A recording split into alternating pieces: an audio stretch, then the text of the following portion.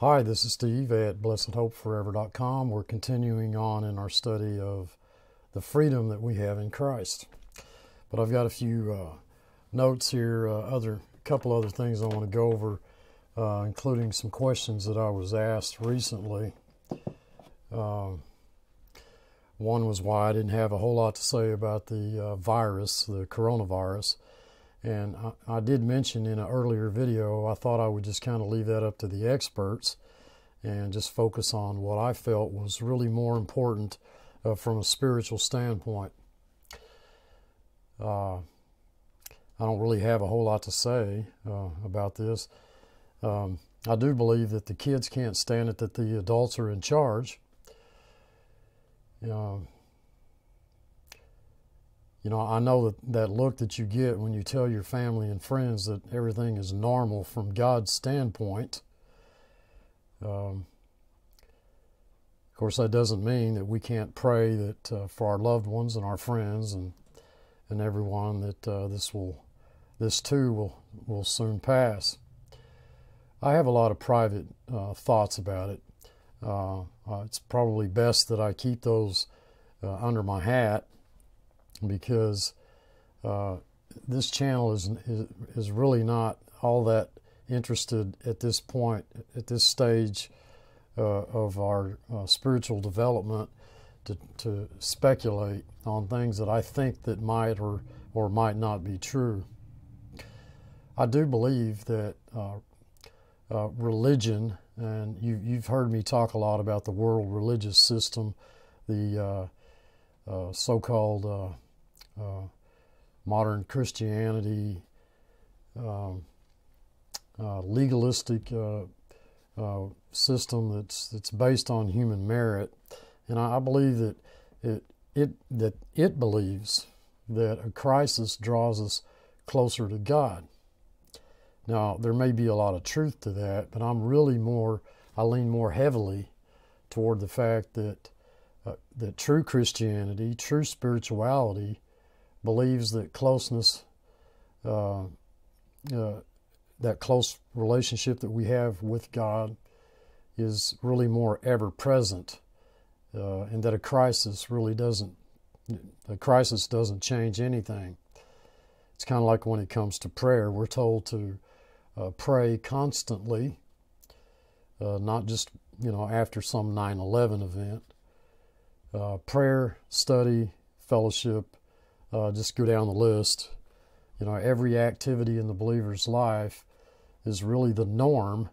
It's not the exception. And and I was around during 9/11, and I I watched you know what happened uh, after that, and I looked at that. I was I took special interest, uh, special note of what took place from a, uh, a so-called American uh, religious experience uh, experience. Um, you know, I, it was it wasn't long before uh, after all the prayers and everything that life was pretty much back to normal, and I don't think the country really learned a whole lot uh, since then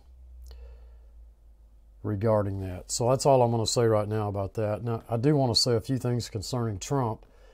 Um, you know, Trump uh, as many of you know, there's a lot of sevens that follow Trump. Uh, he, he, he, he does take office on a January 21st. And I found it interesting, uh, intriguing, that the first known case of coronavirus in the U.S. was on January 21st. And that was three years to the day. Also, uh, found it quite interesting uh, during the impeachment you know, when I was looking around at numbers, and I just happened to stumble on the fact that uh, Trump was acquitted of impeachment uh, his 1,111th day in office, four ones. And then, of course, as I mentioned, then there, there's all the sevens related uh, to this president. So odd numerical occurrences really do seem to follow this president. Now, there's something else that's a little intriguing. I thought you might find this interesting, so I thought I would include it in this video. Um, this has to do with some strange numbers in Isaiah. Now I'm going to go ahead and read this. Uh, if you want to turn to Isaiah, uh, I believe it's. Uh, I'd have to look, check, and see which chapter that that is. Chapter 26. Turn to Isaiah 26, if if you would. Uh, I'm going to start at verse 17. Now, if you look at these verses as years, um, verse 17, 18, 19, 20, which would be the, the year that we're in now, and 21, uh, it just seems a little odd, uh, for lack of a better expression. I'll go ahead and read this. In verse 17, like as a woman with child that draweth near the time of her delivery is in pain and crieth out in her pangs, so have we been in thy sight, O Lord. And this is, like I said, 17, verse 17. Uh, just think 2017, the Revelation 12 sign. Now, verse 18, we have been with child, we have been in pain. Now, I want you to keep in mind, nothing happened. Uh, no event took place at the Revelation 12 sign. The, the event that we certainly had were, were hoping would take place did not take place. Verse 18, we've been with child, we have been with child, we have been in pain, we have, as it were, brought forth wind. We have not wrought any deliverance in the earth, neither have the inhabitants of the world fallen. That's verse 18. So that's that's also intriguing. If we go on to verse 19, thy dead men shall live. Now notice it doesn't say thy dead thy dead men uh, do live or will live, or, or it doesn't say that thy dead men uh, uh, live because they rose from the dead. It says thy dead men shall live. It's future. Verse 19. Thy dead men shall live together with my dead body, shall they arise. Awake and sing, ye that dwell in dust, for thy dew is as the dew of herbs, and the earth shall cast out the dead. The earth shall, in the future, cast out the dead. That's verse 19. So I find that verse intriguing as well. But now we come to 20, verse 20, which is really most intriguing. Come, my people, Enter thou into thy chambers, and shut thy doors about thee. Hide thyself, as it were, for a little moment, until the indignation be overpast. Now, I understand that there's a, a strict biblical context to these verses, but folks, you can't read verse 20 without thinking quarantine. You can't read verse 20 in the year 2020 the, year we're in, and not think uh, shut down, lockdown. So let's look at 21. 21, and, and many of you know that uh, that I I believe that uh, it's a high watch time, 2021, spring of 2021. For behold, the Lord cometh out of his place to punish the inhabitants of the earth for their iniquity. The earth also shall disclose her blood and shall no more cover her slain. Now that's it. If you want to take note, highlight those verses and look at them closer. If you have any thoughts on those, you can email me, uh, text me, email me, call me, whatever. Just wanted to put that, include that in this video. Now, I've, I've been asked a whole lot of questions after doing our series on Romans and Ephesians and Colossians and you know, and parts of John, uh, uh, Jude. I've received a lot of questions concerning the uh, subject of divine election, something that is seldom taught within mainstream Christianity today. I want you to consider the fact that God chose Aaron's rod, Numbers 17:5. He chose a specific kind of fast. Uh, that's in Isaiah chapter 58. The place where he would place his name, uh, Shiloh, uh, Psalms chapter 78, Jeremiah chapter 7. He chose the city of Jerusalem. I w- I won't bother reading all these verses. If you want uh, references, just contact me. I'll just uh, run through this really fairly quickly. He chose the city of Jerusalem. He chose the temple. And he chose Mount Zion. He chose Abram, Isaac, Moses, Aaron. He chose the judges uh, Gideon, Samson, uh, Barak, Samuel. Uh, he chose the kings Saul, David, Jeroboam.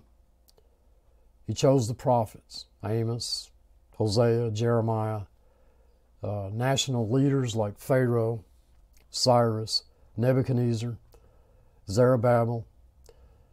There's God's choice of any nation or kingdom. Uh, he chose the Persian army and he chose Assyria. God's choice of genetic corporate entities encompass uh, six specific groups. All humanity as Noah's seed in the in the in the Noahic covenant. He chose the nation of Israel, uh, uh, elect uh, the elect in God's choice of Abraham's seed, Isaac's seed, Jacob's seed, the tribe of Levi, the Aaronic line, the house of Phinehas, and the Davidic line. And of course, we know Jesus chose his disciples. He chose the Apostle Paul. So please forgive me if I don't get too excited when you tell me that he didn't choose you, but that you chose him.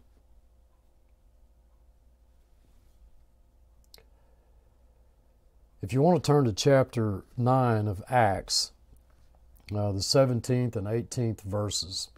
And Ananias went his way and entered into the house, and putting his hands on him, said, Brother Saul, brother Saul, the Lord, even Jesus, that appeared unto thee in the way as thou camest, hath sent me, that thou mightest receive thy sight, be filled with the Holy Spirit. And immediately there fell from his eyes as it had been scales, and he received sight forthwith and arose and was baptized. Notice, folks, how Ananias called Paul brother before the scales fell from Paul's eyes, before he received his sight and was filled with the Holy Spirit, and before he was baptized. Unconditional election. Just back up a, a, verse or two, note what God told Ananias in verse 15. But the Lord said unto him, Go thy way, for he is a chosen vessel unto me, to bear my name before the Gentiles and kings and the children of Israel. Galatians 1:15. Paul himself states in Galatians chapter 1 verse 15. Paul himself says, "But when it pleased God, now we're looking at the timing, who separated me from my mother's womb and called me by his grace." And of course, we've got John 15, 15, 15, or John 15, 16, Jesus tells his disciples, Ye have not chosen me, but I have chosen you, and ordained you that ye should go and bring forth fruit, and that your fruit should remain. So, unconditional election, irresistible grace, God's timing, not our own. And if you don't find that astounding, it's one thing to see how amazing that is just from a pure scriptural standpoint. It's another thing to be so um, be so absolutely amazed at why you're not hearing that at most of the churches that you step into. Why is that? Personally, I believe that the doctrine of demons playbook was long ago written, and the religious system, that human merit based system today, has endorsed it, believing that it must be the truth. An entire system built upon the greatest of deceptions. And, folks, that's the age we're living in.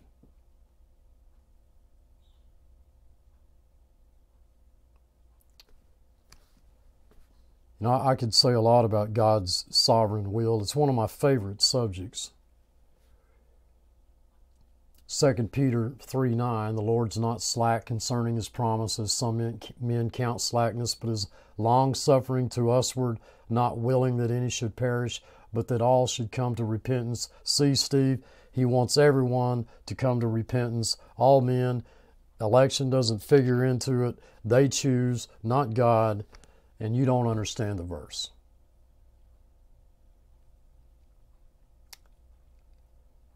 Folks, we've got to slow down. When you anybody can read that and breeze over that so quickly that they miss the truth that that verse contains. First of all, his will his desire that is expressed there is for all those who are His. The text, first of all, says, and if you have the authorized version, the King James uh, says usward. Usward. Okay? That's uh, the word there in the Greek is is su. That's that's, that's how it's pronounced. It's it's sigma upsilon, uh, two letters in the Greek and it's in the plural. You all, believers, not the non elect. And also, it's the Lord who is not willing. The verse doesn't say, here's what it doesn't say. The verse does not say the Lord is long suffering toward uh, goats and tear who are, who are not willing that they should perish.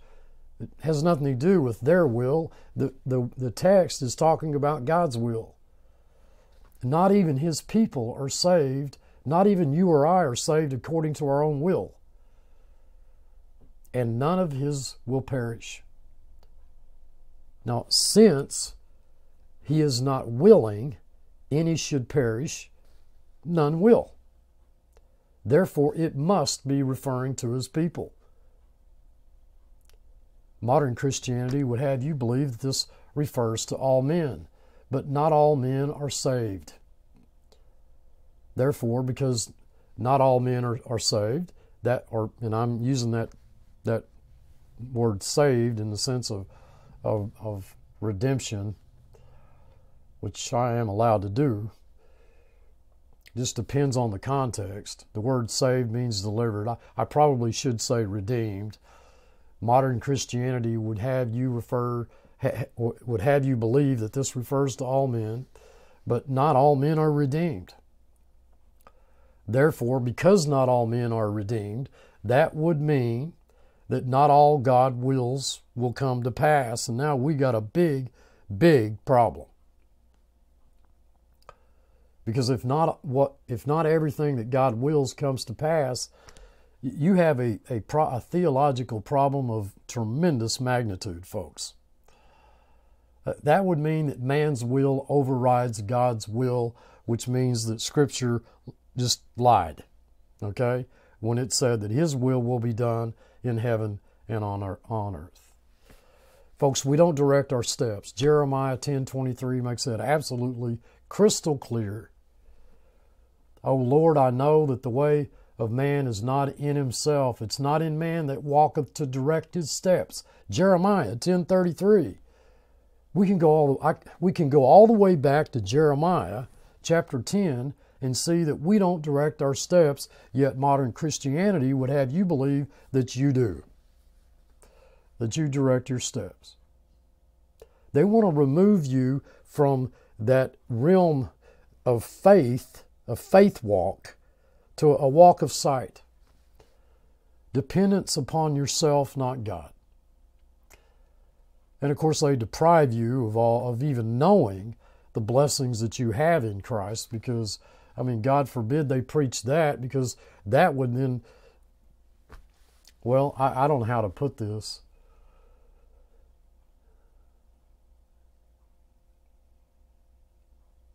It's amazing to me how that they think that you know, I guess they think that, or at least many of them think that if we were to just tell you that you were fully, completely righteous in Christ, you stand before Him holy, unblameable, and unreprovable in His sight, you've been blessed with every spiritual blessing in the heavenlies, uh, you're coming behind, you're lacking in no spiritual grace, no, no spiritual gift, and on and on and on it goes.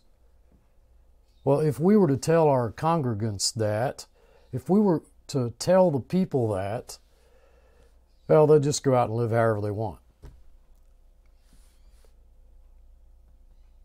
What they need to be telling them is that they're they're out there living the way that they want right now. There's not a single one of us, folks, not me, not you, not a single Christian. There's not a single Christian on the planet that's not living the way he wants we don't always do the things that we want to do. In fact, we do the very things that we don't want to do. There's something I find very interesting about Scripture. Scripture really has little to say about anything unless, and I mean anything, doesn't matter what book you're looking at, what chapter you're looking at, it really doesn't have a whole lot to say about anything unless what it's talking about has a direct plug in to the, to the issue of redemption,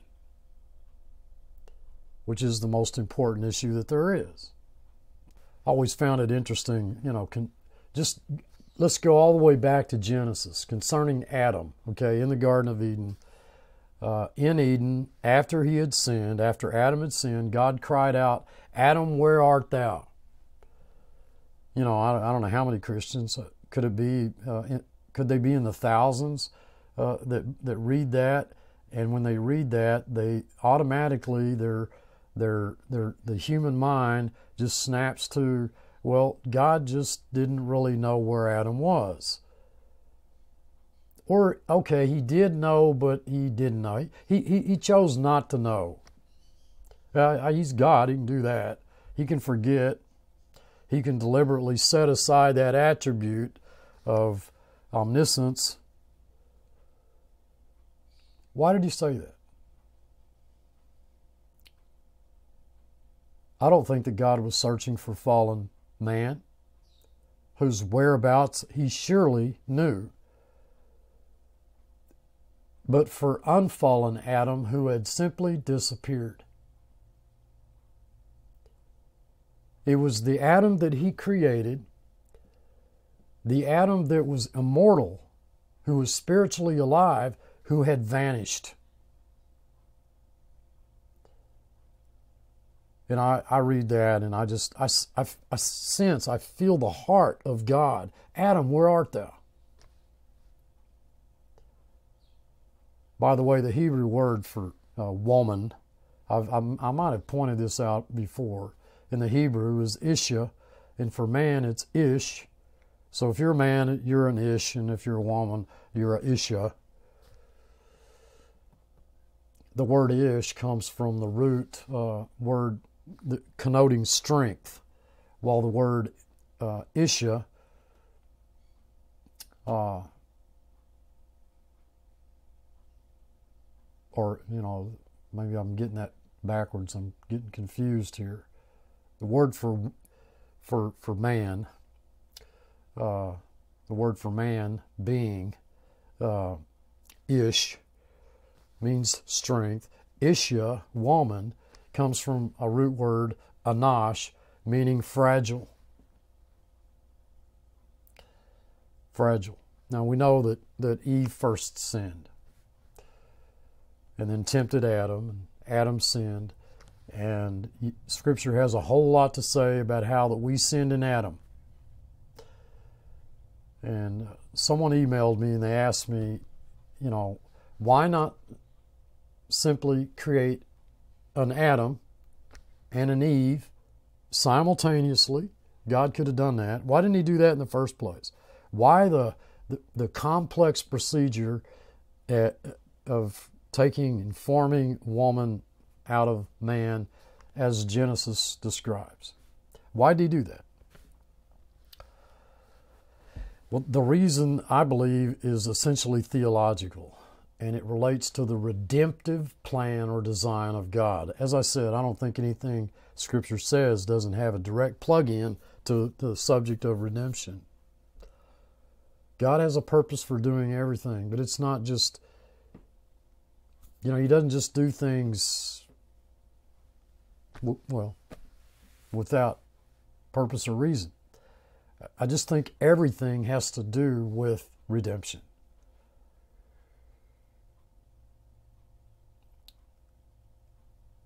Adam was first formed, then Eve. Eve was fashioned out of, out of Adam. And I, as I believe, as many scholars do, that Adam was created uh, androgynous. He, he had the, the, the chemical, the, the the makeup, the genetic makeup of both male and female. And no, that doesn't mean that Adam was gay. It's just that everything was in Adam to begin with. I believe he was created that way. And since Eve was taken out of Adam, then he lost that part. Oh, that that's not to say that men can't have some feminine characteristics. It's just that, but try to follow what I'm saying here. All men had to be derived from a single individual Adam, not from Adam and Eve as, as two separately created individuals. Okay? The, the human race had to originate from a single creature with one head. One head, one source, one original Adam. I mean, the creation of two separate heads, a father of the race and a mother of the race, each formed by a distinct act of creation, would result in theological complications as it concerns the incarnation, okay? God becoming man, because God didn't become man and woman. God didn't become androg- androgynous or whatever. Women had to be redeemed too.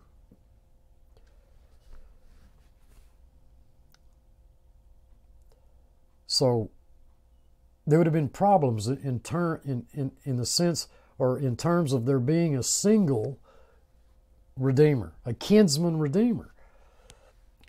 The importance of drawing Eve out of Adam and not making her a separate creation thereby meeting the exact requirement of Acts chapter 17 that God has made of one, not of one blood, all who dwell on the earth, is, is clearly brought out by the fact that every individual in the world who's ever lived traces his beginning back to Adam. That's, this is why Jesus is often referred to as the second Adam. I prefer the term last Adam. There's not going to be a third. So just wanted to, I just wanted to mention that too before as we go on uh, along in this study on on our freedom that we have in Christ. I hope that you followed us through on the first uh, several videos. I, I, mentioned, I made a mention in my last video how I was going to touch upon the the the idea of the so-called mysterious third person. You know, you've got we have the old man and the new man, uh, and then uh, I suggested I thought that there was a third person involved, and so we'll talk a little bit about that. So here we go. Uh, I uh, I'm looking for the right word here. I've, I've said I've said things in the past where people have said, you know, well that that seems like quite a, an extemporaneous thought. Uh, folks, this has been on my mind for over 30 years. This is not something new. In fact, it is so important to me that I base my uh, it's it's it is it's always extremely important. At least it is for me. That number one, I always focus on what God's word says as opposed to anything else. That it's it's the sole authority. That God wrote it, not man. That nothing contradicts anything else. That there's a logical consistency to it. That it's it's like building blocks where we can build, you know, a, uh, a house not on sand, but on Christ, there must be a third person. There has to be.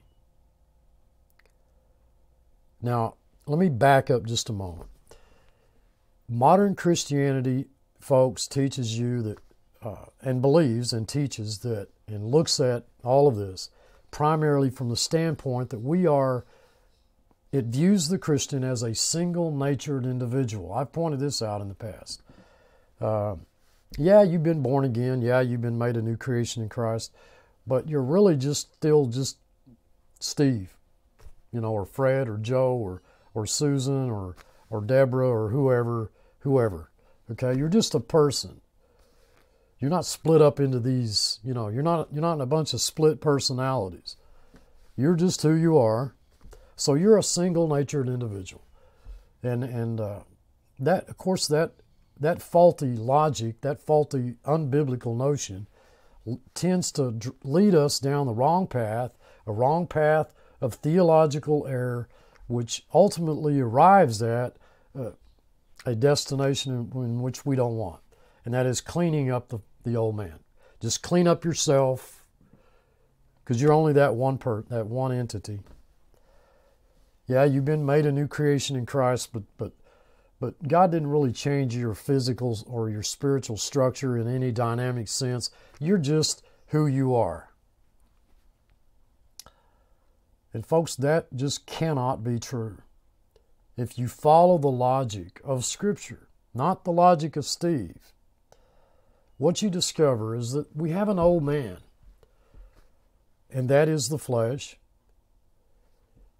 let's let's talk about the old man just for a moment. Much can be said about the old man, old nature, sinful nature, the sin nature, the old man, the flesh, of which there there's there in, in which there dwells no good thing. The flesh profits nothing. He was crucified with Christ. We died to self. You know, there's the old man. And it, it is unchangeable. It's never going to improve. It's never going to get better. In fact, just the opposite. It's going to become worse. If you lived uh, 100 years, 200 years, 300 years, I don't think that you folks, nor I, would want to see our old man 300 years from now. Okay? Scripture says it's becoming more and more corrupt day by day. God is not interested in cleaning up the old man. In fact, God has nothing to do with the old man, the flesh. Okay? All that ugliness in your life, all of that sin, all of that horrid, just that horrid monster of self, God has nothing to do with it. You, he, you began your journey in Christ having been made a new creation, but that's not the new man. And Christians, by the score, those who have at least escaped from that mentality that we're a single natured individual, and they'll admit, well, we have an old man and a new man, so, uh, you know, so we're not the old man, so we must be the new man, and that is not correct either. And I hope to explain that uh, the best I can. We just discussed the old man. We just talked about the old man. The new man, Scripture has a lot to say about the new man. The new man is sinless, fully righteous. Couldn't become any more righteous uh, by what it does or doesn't do. It stands before God. Uh, God looks at the God looks at that new man as sinless perfection. Okay? But that's not us. Why, Steve, do you say that that's not us? Well, because to say that that's us would would then be suggesting that we we never have anything to do with the old man, and we do. And without you thinking that I'm introducing any sort of free will into this equation, because we don't have free will as it comes to the ma- when it comes to the matter of redemption, God made that absolutely clear. John 1:13 born again by the will we're not born again by the will of the flesh or the will of man, but we're born again of by God.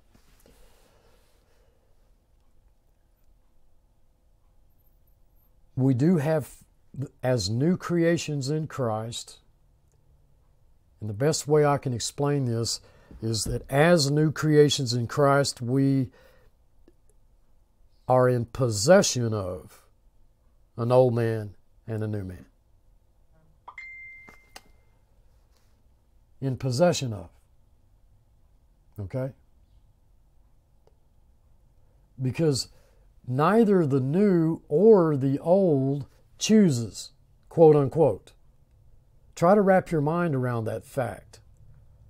The, the, the old doesn't choose to do good or bad. All the old can do is bad. Okay? The new doesn't choose to do old or bad because all that the new does is good. Are you following me? The, the both are bound by their unchangeable nature and they can only do what they are by nature able to do. Therefore, therefore, we as a new creation possess both an old man and a new man. We are not our new man. Okay? We are a new creation in possession of both an old and new man. Okay? So we make choices. We choose to be involved in one or the other. And here's where it gets interesting. Okay? I've just handed you back some responsibility here. That maybe formerly you thought, well, you know, gosh, Steve, man, he's he's so much into grace. He's you know, we, God chose us. He's perfected us forever. He's, you know, on and on and on it goes. So I can just sit back and I don't have to do anything. And that is not true. You will make choices. In fact, you do. You make choices every single day. And not only every day, but almost every moment of every day. You make choices. You choose to either walk in the flesh or in the spirit old man or new man. God has given you the freedom of choosing which you that that you want to be involved in. If you, I've said it before, folks, you know, you can take the old man for a ride, but that is not you. That's not you. You are a new creation in possession of a new man and when we look at the characteristics, the nature, the function, the characteristics, and the evidence of the new man, it is, folks, it is like, here's what it's like. It's like, it's like activating the account that you already have, okay? It's not depositing anything new into that account. Just because you make a choice to walk in the spirit, not the flesh, you haven't changed the nature of that new man one iota. He's fully righteous. He's always been. He always will be. You haven't added to. You haven't added anything. Are you? I hope you're following this. You haven't added to the finished work of Christ. You're not adding anything to it. I'll say it again. It's like it's like activating the account that you already have. The new man, fully righteous, Okay? Cannot sin. Paul said in Romans chapter 7, It is not I, but sins, but sin which dwells in me. We read John saying in 1 John that his seed abides in us and we cannot sin. Who cannot sin? The new man. All the old man does is sin. So we're told that to walk according to the Spirit, not according to the flesh. And folks, I've pointed this out before. It's not, you know, walking according to the flesh is not just going to, you know, bars, okay? Or just go down your list, whatever, you know, whatever. It's not doing all that worldly stuff, playing poker, you know, on Sunday, whatever. Walking according to the flesh, primarily, first and foremost, is walking according to law. Why? Because flesh and law are so inseparably connected, okay? Related. The, they, they function together. They, they go together. They're married to one another, law and flesh. It's not that the law is bad. The law is, is holy, just, and good. It's just that you cannot keep the law. It was never even given to you in the first place, but you died to the law in order that you might bear fruit unto God. How do we do that? How do we do that?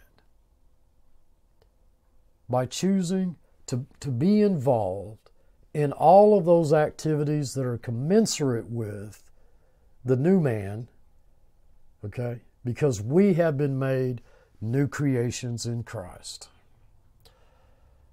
And that is freedom in Christ, folks. We have the freedom to live and serve Him despite the old, all the old, all the ugliness of that old sin nature that was crucified with Christ. We have the freedom to live, to love, to serve one another, and to serve God, to worship God, unhindered. Okay, because everything that God could have possibly done because it's, uh, it's all centered in His Son. And we have been given His life. It's His life that is lived out in and through us as we walk by faith in all that God has said is true of us in our new man as new creations in Christ. Look, I love you all. I truly do. I hope this this at least sheds some light on where I'm coming from. And and as usual, I don't ask anyone to agree with me on anything concerning this mysterious third person. Folks, we are living in an age which, in which I believe, this is just what I believe, I believe that modern Christianity as a whole has departed so far from its roots, from its founding, from its beginning, that it's, it's almost com- compared to the picture that we see in Scripture of it's just almost unrecognizable. This is why so many people they they'll pick up their Bible and, and they'll, they'll they'll start reading and, and and they'll right away right away that they see that that the life that is described in this book uh, for the Christian is so far removed from their experience that they can't even begin to to to grasp how that they could possibly attain okay? That's a good word attain to that level of spirituality. Well of course that's the truth that's the beauty of it is we can't but christ did and He loves you, and I love you. And until next time, this is Steve. Thanks for watching.